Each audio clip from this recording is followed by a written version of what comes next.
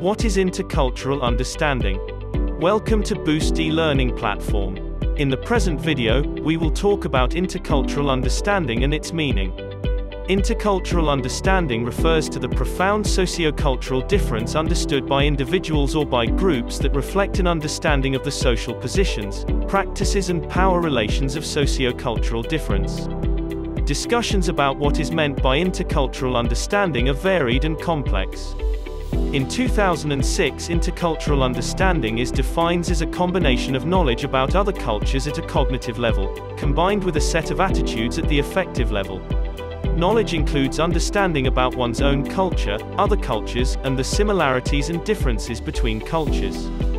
However, knowledge on its own does not comprise intercultural understanding one can know, and continue to judge and dismiss.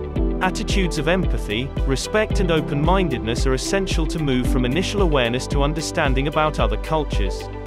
Intercultural understanding is an essential part of living with others in the diverse world of the 21st century. It assists young people to become responsible local and global citizens, equipped through their education for living and working together in an interconnected world. Intercultural understanding combines personal, interpersonal and social knowledge and skills. It involves people learning to value and view critically their own cultural perspectives and practices and those of others through their interactions with people, texts and contexts across the world. In the next few sentences we are going to mention organizing elements that are important for intercultural understanding.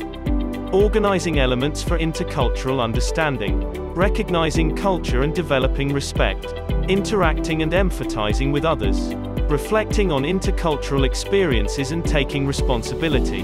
At the very end we can say that we will define the intercultural fluency as an important part of intercultural understanding.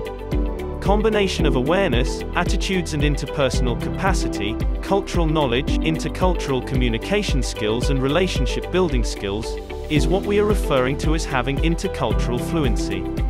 We hope that this was interesting for you and let's deep into intercultural understanding a bit more together at Boost e-learning platform at www.boostskills.eu.